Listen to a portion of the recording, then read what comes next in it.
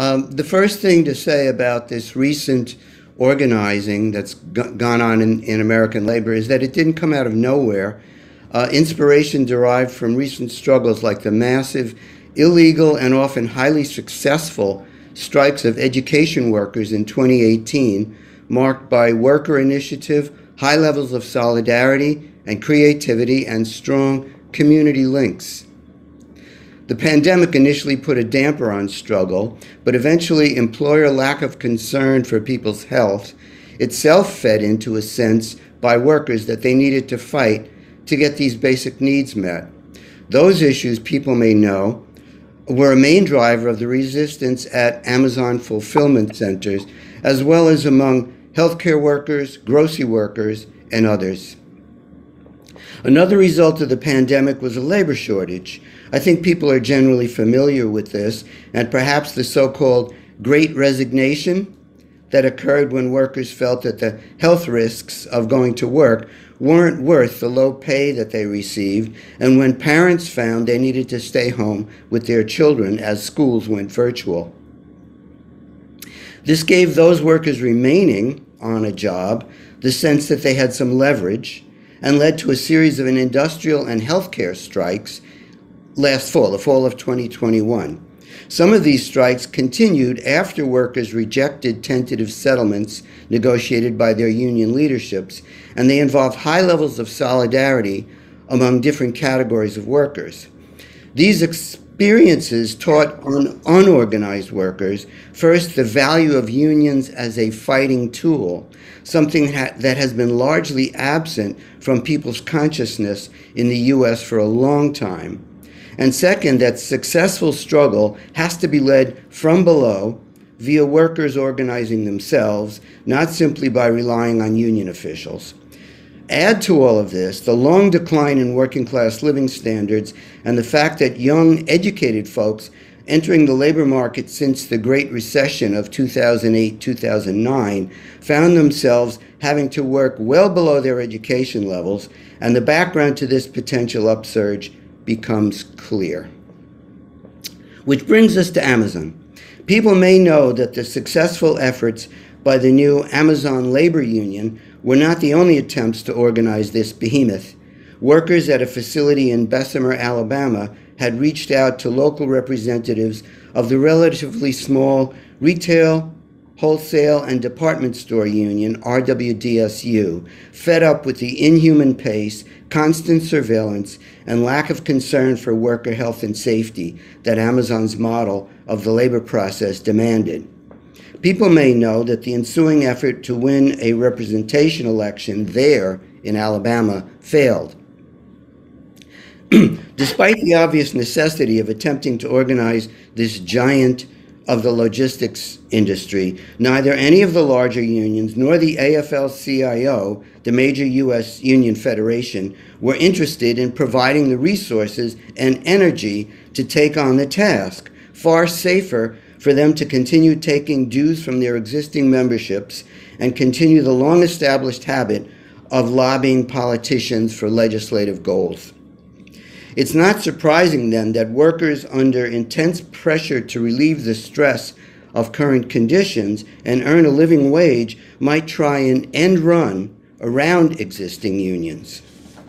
The Amazon Labor Union and at the now famous JFK 8 facility in New York is not the only such attempt. A group called Amazonians United led by leftists working at facilities in New York, Chicago, and elsewhere, has for several years organized using a model that can be called acting like a union without yet attempting to achieve official recognition. The group achieves small victories around shop floor disputes by confronting managers, sometimes with petitions signed by many co-workers, with the ultimate goal of unionizing the facility by demonstrating the power of collective action.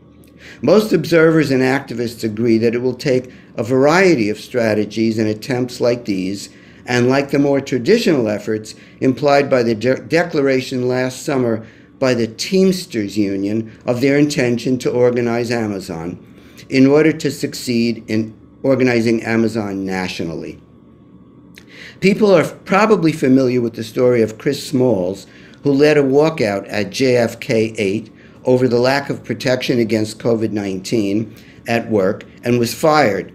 He and a few close associates, Amazon, uh, sorry, primarily people of color like himself, put together a group who began calling themselves the Amazon Labor Union and collecting signatures for an election under the rules of the National Labor Relations Board, NLRB. You may not be aware that as the drive proceeded, some young socialists got hired at the facility, or if they worked there already, joined the ALU. The ALU's worker to worker methods proved to be what enabled their success against the powerful anti union tactics Amazon used against them. They spoke to co workers every day, often provided free food outside the facility, intentionally built relationships between ALU members of particular ethnic groups with coworkers of that ethnic group. And they spoke against management representatives at what have been called captive audience meetings that Amazon required workers to attend to hear anti union propaganda. Part of that employer message, the warning that a union would be a third party who would simply take workers' dues, made no sense to people who could see that this supposed third party was the same people they worked alongside every day. One part of ALU's organizing methods was, however, entirely traditional the decision to campaign to win an NLRB election in order to get union recognition rather than beginning by building towards a recognition strike. NLRB procedures are notoriously slow and tedious. After a successful election, there are many objections that an, an, employer may file, often causing months and even years to pass before the union can bargain and then win a first contract. The ALU organizers were aware of this, they are aware of this, but also use the NLRB to their own advantage by filing unfair labor practice charges against Amazon's tactics successfully and are counting on the relationships and solidarity they built to continue organizing on the job while the legal proceedings drag on. What remains to be seen is whether shop floor worker activity overcomes not just Amazon's delaying tactics, but the attrition problem stemming from the sky high rate of worker turnover intentionally created by Amazon's churn and burn labor process model. As well, Amazon has shown that it is willing to break the law with such tactics as firing organizers and lying to workers about union related matters, knowing that the consequences will not be much more than a slap on the wrist. Nonetheless, ALU's success and the group's extensive positive press coverage has inspired workers at scores of other Amazon facilities to contact them for help. Starbucks, we have seen, is an equally ruthless union buster, also relying on illegal firings, lies told during captive audience meetings, and one on one meetings used to isolate and intimidate workers considering unionizing. Militant workers are, of course, aware of the similar spot they are in to Amazon workers and many others. But the organizing effort that began in Buffalo, New York, was originally only conceived as a local one and not an attempt to begin the process of unionizing the entire company. Workers there wanted to emulate their colleagues at a local coffee chain who had successfully unionized into Workers United, WU, a small affiliate of the Service Employees International Union, oriented towards organizing less organized sectors like restaurants. They also prepared for NLRB elections, and as they did so, were met with intimidation from the supposedly progressive company, which is so determined to resist unionization that it flew in management representatives to this relatively small city to convince workers not to vote for a union. Like the ALU, the Starbucks Workers United campaigns in Buffalo and later elsewhere have been worker led. WU staff organizers understand and encourage the worker to worker organizing that has scored the recent successes across the U.S. It has turned out that the one store at a time model has been to the workers' advantage, since a high level of personal bonds and solidarity develops at these locations. In many cases, as workers identify with others who are also LG, LGBTQ plus or people of color. After two successes in Buffalo, Starbucks workers elsewhere began to emulate them. Retaliation, including some high profile firings, though intimidating to some, has worked overall to encourage workers elsewhere to the point where now workers at close to 200 Starbucks stores nationally have won recognition elections. In some cases, workers have organized successful strikes against the retaliation and intimidation. Starbucks Workers United, as it is now called, is now a nationwide organizing effort with the goal of organizing the entire company into a single union. As in the case of Amazon, what remains is to outlast management's delaying tactics, including illegal ones, secure recognition, and fight for and win an adequate first contract. To do this, the workers will, of course, need to learn new skills and build an even deeper connections with coworkers and community support against the resistance of a deep pocketed and determined corporate enemy. As with the ALU, Starbucks workers who win an election know that, as they say, this is only the beginning. In the meantime, these successes have already inspired others elsewhere. High profile union organizing victories have occurred at newspapers and magazines, conspicuous retail locations, individual locations of major grocery chains, higher education institutions, the first organized Apple store in the US, and others. The publication Labor Notes, which orients primarily to rank and file worker militants, has served to track all of these, giving them often excellent and useful coverage, and even to bring people together. Labor Notes also functions as a training center and host of a biennial conference, the 2022 edition of which proved to be the largest and most exciting in its 40 plus year history. Where is this movement headed? How likely is it to continue to spread? Will it achieve the real improvements in workers' lives that it needs in order to build confidence, combativity, and a collective sense of solidarity in the working class as a whole?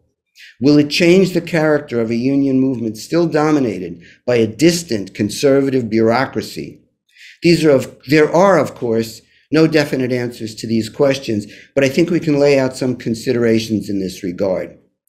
First, of course, there's the question of how to take down giants like Amazon and Starbucks and win important contractual victories.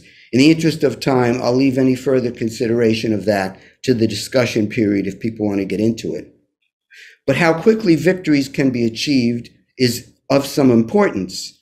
A collective understanding of the current political and economic conjuncture is needed in order to sustain the movement. Favorable labor market conditions are not likely to last as we enter what may be a worldwide recession. Some have begun to refer to a closing window of opportunity, raising the question of how groups of worker organizers can keep the movement alive even if its progress is for a time severely slowed, they will have to develop an understanding of what is possible now and find ways to make links with other workers and social movement activists, particularly in a climate of right wing resurgence. Worker organizers will need to link up with workers in organized industries, working to democratize their own unions and better understand and avoid the so called business union tendency that even progressives and well meaning leaders fall into. In other words, they will need to continue to build activist, independent bases of power among workers themselves, even in a period of downturn. The steps needed to develop a working class politics and the organizational forms it can, that can sustain it can be begun now. It has historically been groups of socialists that have brought such political ideas to working class movements. And in the United States, the dominant socialist group is the Democratic Socialists of America, DSA. DSA members have, in fact, been involved in some of the recent organizing efforts, and DSA has a close relationship with Labor Notes. Units of DSA focusing on labor have recently forged some important connections. The Emergency Workers Organizing Committee, EWOC, is a joint project of DSA and the United Electrical Workers, a small radical union unaffiliated with the AFL CIO. EWOC seeks to organize workplaces in areas such as retail and restaurants. DSA's National Democratic Socialist Labor Commission, the DSL, DSLC, created in 19 to 2019 to provide centralized resources and direction to DSA's labor work, has so far failed in the eyes of many to do so, but now has a new steering committee pledging to do more. We'll see. DSA units have engaged in strike support and community support for organizing drives, for example, through an organized com- campaign connecting to Starbucks workers. But DSA's work has been inconsistent and too focused on workplace organizing methodology. DSA workplace activists adopt and spread the excellent organizing techniques promoted by Labor Notes, including the possibility of vying for union leadership in some cases. But rarely is there a sense that socialists have or should have more to offer than organizing skills. When politics is raised, it is almost always in the form of electoral or legislative campaigns. The organization is highly decentralized and not suited for collective discussion. The practice of local chapters varies widely. In some cases, workers have been grateful to get an important boost as DSA members came out in support of an organizing drive or strike. Without minimizing the importance of such support or the experience it gives to DSA participants, there's generally not much more that DSA provides in such cases than bodies for a picket line. In other cases, DSA has failed to help even in this way. ALU activists contacted the labor branch of the New York City chapter and were ignored until after they proved themselves with their victory. Further, DSA's movement work is siloed and bureaucratically structured. Activists in the movement against police violence are in one so called working group, environmental activists in another, LGBTQ plus activists in a third, and so on. There are no clear channels for these groups to communicate with one another and discuss how their struggles may strategically be linked. I don't want to draw strictly negative conclusions, though. The organizing drives continue with important successes, and socialists, including those in DSA, gain experience and look to deepen their understanding. Starbucks workers talk about possibly striking all of the organized stores simultaneously. And the ALU hints at engaging in an organizing strike at, JFK 8 if the NLRB process drags out too long. What all of this means for further organization, either within the socialist movement or in the broader working class, remains to be seen. Thanks. I thought I'd just start with the short introduction that might, uh, you know, kind of clarify some of my perspective. So um, I think it says in the program, I'm here in my personal capacity today. It's true, but I'm also a staff organizer for UAWD, um, Unite All Workers for Democracy, which is a reform caucus, a rank and file reform caucus in the United Auto Workers. Um, and I'm a former UAW member myself um, from my involvement in the Harvard Graduate Students Union. So that's part of the organizing in higher education um, that Mel mentioned. I'm also active in DSA in the Boston chapter. I'm on my second stint now as co-chair of the labor working group in Boston DSA. So I have a lot of thoughts on both union reform and what socialists can do to, to support it. So Mel and I thought, you know, it makes sense for him to go first and talk more about new organizing and for me to go second, talk more about, you know, the internal organizing that's going on in existing unions, which is very related. So there is indeed a resurgence of militancy within existing unions, including uh, industrial unions that I think many people may have written off, like the Teamsters and, and the UAW. So, uh, you know, what's so I'll, I'll, talk about, I'm planning to talk about kind of what's at stake here. Um, uh, or how did it arise? What's at stake here, and, and how do we sustain it? And how can socialists um, uh, support this? Um, so this is, you know, to me, a really key piece of how we can reverse the decline uh, in the organized labor movement in the US. Um, I'm going to be talking primarily about coordinated national reform movements in the Teamsters, the UAW, and then a little bit about the News Guild as well, which is not an industrial union, but which is also experiencing a resurgence. Um, but there are other examples like the teachers' unions. Um, but uh, to my mind, I think uh, you know, the Teamsters and the UAW are probably the primary examples of nationally coordinated reform movements in these very large unions. Um, so there's a really important relationship between internal organizing and new organizing that I think isn't always apparent to people. Um, so the Teamsters um, elected new uh, leadership that's much more planning to take a much more aggressive approach to the companies. Um, we'll have to see how it bears out. But uh, that means uh, they're planning to take on uh, UPS, United Parcel Service, in contract negotiations in 2023. And they see that as very complementary to um, organizing new workers at Amazon. Um, in the UAW, we're also hoping to elect new leadership this year.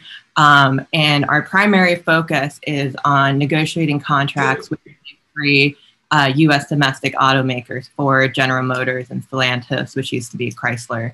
Um, but we also believe that will really help us organize um, foreign owned plants in the US, which have been very resistant to organizing and which, uh, you know, is uh, I think half of all auto manufacturing is still non-union, and also the emerging electric vehicle industry, which is a big threat um, to uh, many workers in traditional um, internal combustion engine uh, uh, vehicle manufacturing. Um, and then we see actually the direct consequence of electing new leadership in the news guild. It's led to an aggressive wave of new organizing and uh, contract campaigns uh, in uh, you know newsrooms across uh, the U.S. So, um, so the first question: Where is this coming from? So, uh, I do believe union reform caucuses have played a very, very important role in both instigating and sustaining a lot of this organizing and pushing leadership in, in a more militant direction. So, um, some of you may know there is a very long standing caucus in the Teamsters called Teamsters for Democratic Union. Uh, it was founded, uh, I'll, I'll, say more about TDU a little later, but they, uh, was founded in the 70s. Um, they have sustained themselves over many decades. And uh, recently, they allied with breakaway leaders from the incumbent um, and, and won leadership. Um, UAWD is a newer caucus, but we have uh, many very uh, important, influential members of our caucus who were involved with previous reform movements in the UAW. Um, and uh, we have many newly engaged younger members as well. Um, so, uh, you know, we've each engaged um, in uh, some common tactics and uh, been pushing for common reforms. So, I think the most important of these um, is the establishment or use of direct elections of top leadership. So, that kind of paved the way for different election victories in the Teamsters. Uh, it's definitely finally opened up the doors to competitive elections in the UAW. Um, I can talk more about what those elections are going to look like this year. Um, and uh, it's also, I believe it also played an important role in uh, the new leader, uh, the election of uh, the new leader in uh, leadership in the News Guild.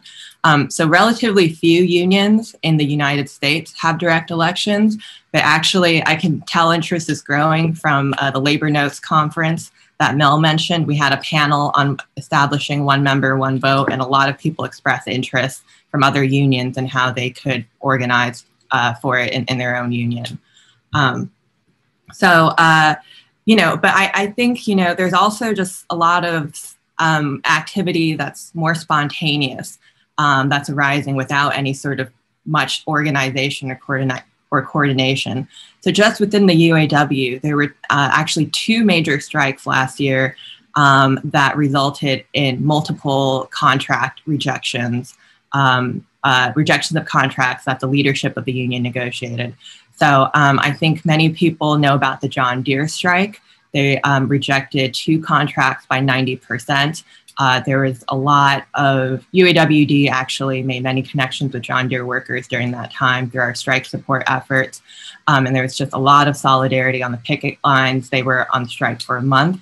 But from what I can tell, it was a very bottom up, organized uh, sort of uh, rebellion. Uh, you know, it, you know, we didn't get in touch with them until later.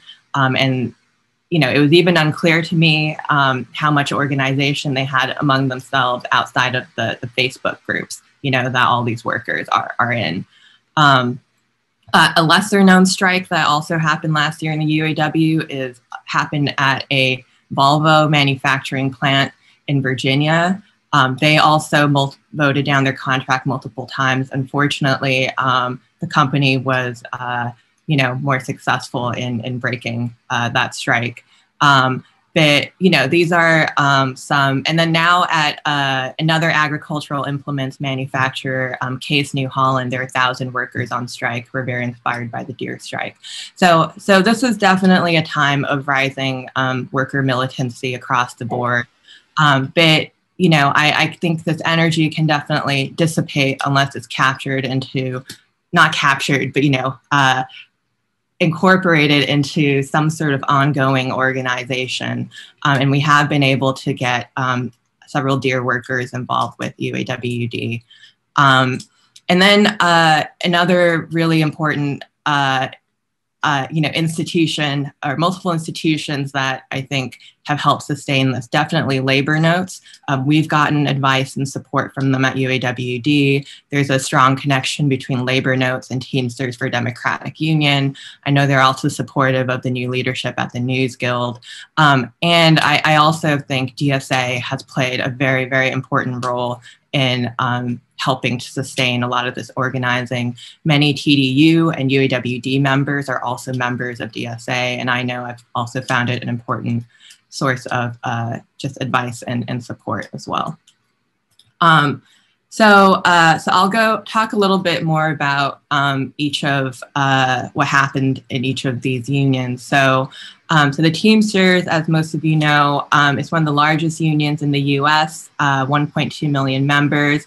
Uh, many members work in logistics, and a quarter work for UPS, which is uh, the world's largest courier company by revenue.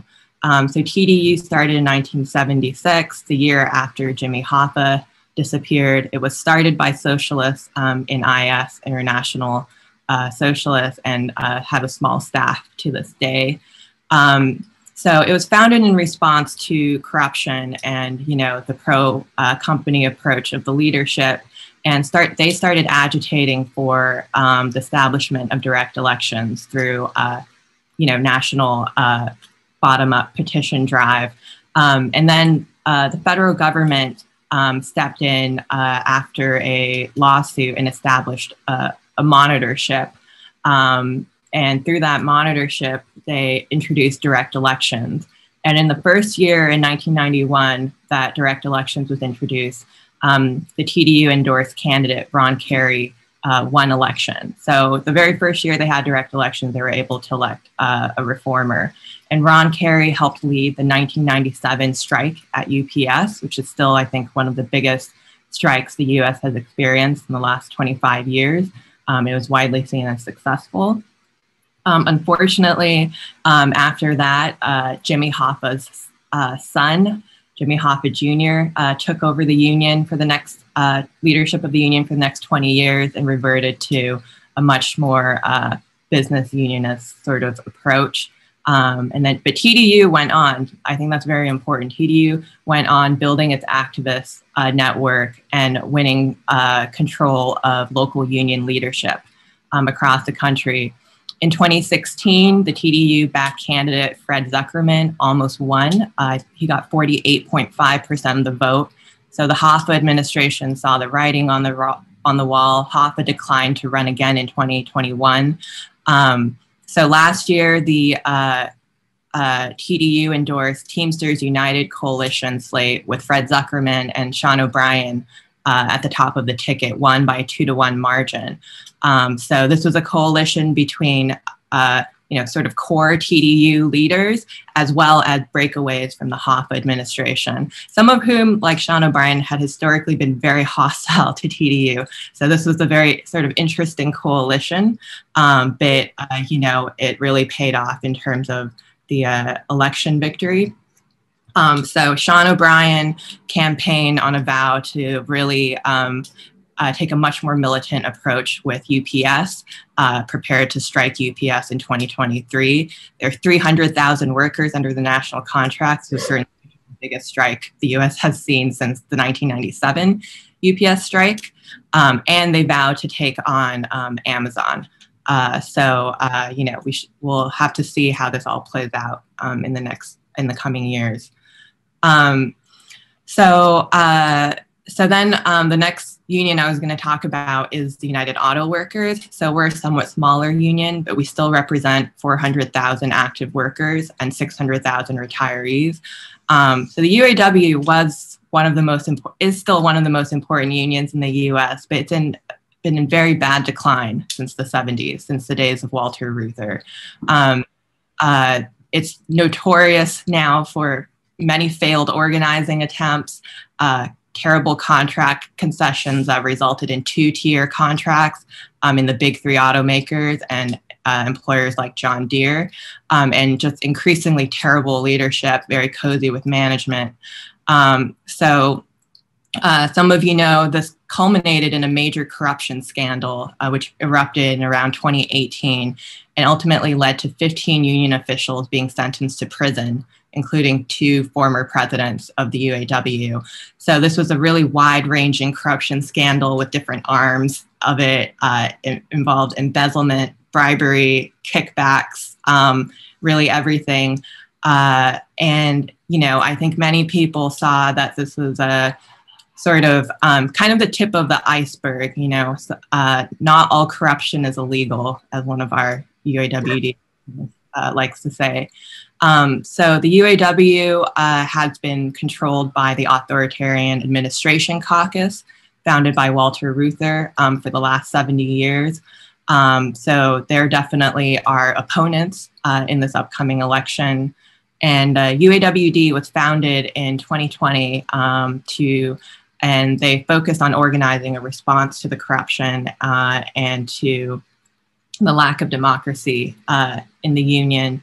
Uh, we have a somewhat similar model to TDU. We have a very tiny staff right now, um, and several founding members, as uh, I mentioned, were involved with previous reform efforts like the New Directions movement in the 1980s, which was the last time a dissident was elected to the International Executive Board of the UAW.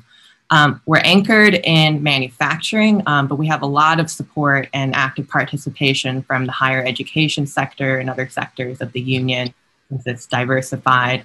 Um, there are active socialists uh, in, in all the sectors of, uh, that are involved with UAWD. Um, so similar to TDU, we pushed for direct elections uh, from the bottom up. Um, and also similar to the Teamsters, um, a government monitorship was established in the UAW as a response to the corruption. Um, and instead of just giving us one member, one vote, they decided that we needed to hold a referendum on it. Um, so all of last year, we were focused on winning this referendum to establish direct elections. Um, and we did win it. Um, and, you know, at the time, we were, you know, a little put off that we weren't just given direct elections, but it was actually quite important for our caucus. It helped us build up a national activist network. Um, and we established a reputation as, you know, the forces pushing for democracy in the union. We gained a lot of campaigning experience. Um, so now later this year, um, we're going to be holding the first ever national leadership elections by direct vote. Um, we're putting up a reform, a slate of reform candidates. And in 2023, uh, the big three automaker um, contracts go up for negotiations. So that's 150,000 workers. Um, but there's also talk of, you know, uh, striking to get rid of tiers and contracts and um, other concessions. Um, I think I'm running a, a, little bit over now, or will soon, but I'll just mention briefly. Um, the News Guild is the third union I wanted to talk about. They're a much smaller union, obviously not an industrial union, but they represent, um, I think, 50% or more now of uh, unionized journalists and other types of media workers in the US. They around 26,000 members. Um, in 2019, uh, a reform leader, Jon Schleuss, was elected. He was a journalist who was involved in the organizing drive at the LA Times, which is a historically very anti union uh, newspaper. Um, so the News Guild already had direct elections. I'm not sure when they were established. Um, and, uh, you know, uh, Jon Schleuss won the election uh, out of 2,300 votes cast. Um, so since then, they've been on a really terrific organizing spree. Um, over the past four years, they've organized at least 7,000 new workers. Um, so now they represent 2,000 workers altogether at the New York Times. Um, so that added, uh, you know, their union grew from 19,000 to 26,000 workers during that time. Uh, they represent 400 bargaining units. Um, and so as a result, they're now negotiating an insane number of new contracts. Um, they've gone on many strikes, uh, issued many strike threats. Um, I spoke to a friend of mine who is now an organizer at the News Guild. He said it was the busiest organizing job he'd ever had. Um, so I do think it seems clear that new leadership has played an important role in in um, ramping up this activity. And you know, news media uh, unionization is, is, important for for a lot of reasons that I'm sure um, would would be apparent to, to everyone. Um, so I'll just wrap up by um, naming what I think are a few of the tasks of socialists in supporting this uh, revival militancy within unions. I think first is just educating people. Um, a lot of, you know, uh, I, I, think a lot of people don't really take an interest in internal union politics or they find it opaque. Um, so we just need more educational events like this one, I think, and more media coverage. Even the Teamsters election, which is so consequential, wasn't covered as much as I thought it would be. Um, it was difficult to get news outlets to cover our referendum vote, but we did do a big push to, to get media coverage of it. Um, you know, so usually there's kind of two sides, pro company or pro worker, and I think that's kind of the main thing um, that that uh, needs to be, be clear um, in in media coverage of, of these elections. Um, so, uh, in terms of what you know, I think DSA's role should be. So Mel mentioned uh, many of these things. Um, so the new leadership of our National Labor Commission um, are uh, dedicated to um, different aspects of the rank and file strategy, um, and uh, which focuses on rebuilding the activist layer uh, in existing unions. Uh, so key tactics tactic is encouraging socialists to take jobs um, in uh, workplaces to agitate and organize, unionize workplaces. So I've seen this bear fruit in the Teamsters, um, in the UAW itself. Um, many of our retiree activists um, took jobs in auto plants, uh, you know, in the 70s and 80s, and now they're still organizing with us. Um, and uh, DSA is also supporting uh, SALTs in or unorganized workplaces as well, like Amazon and Starbucks. Um, if you're already in a union, you know, um, I would uh, definitely encourage activists to suggest to begin uh, building a union reform caucus or network. Um, definitely, I think it's important to not just engage in shop floor organizing, but also uh, contest for leadership positions. Um, I, I, do think that's very, very important in most unions um, and agitate around contract demands and prepare coworkers to go on strike. So I think this is very challenging work, especially when you're coordinating in a large union with many locals. Um, it does help if there's a national contract uh, that, uh, you know, workers feel there's something at stake for them in reforming, uh, you know, the the larger affiliate. For instance, uh, it's easier to organize uh, workers in the Teamsters who are UPS workers and also um, workers in UAW who um, are in the big three since their contracts are so clearly tied to leadership. Um, uh, I think uh, DSA uh, should continue uh, engaging in strike support um, and materially show up for workers as well who are not on strike. Uh, one thing that we also do is connect workers who are in the same industry to each other, um, uh, uh, contribute to uh, uh, strike support fundraisers. Um, and then you can also, without, you can directly support union reform caucuses. You can donate. Um, usually, uh, TDU and UAWD both accept donations from, uh, you know, non-members um, and connect caucuses with each other. Um, definitely support institutions like Labor Notes. Um, so, you know, I, I, do think I've seen socialists play a very important role in the development of both um, TDU and, and UAWD um, and many other uh, union reform movements. So, uh, you know, I, I think uh, we definitely uh, need to um, step up this activity, not, uh, you know, uh, disengage or anything. So, um, so yeah, sorry, I'll stop there.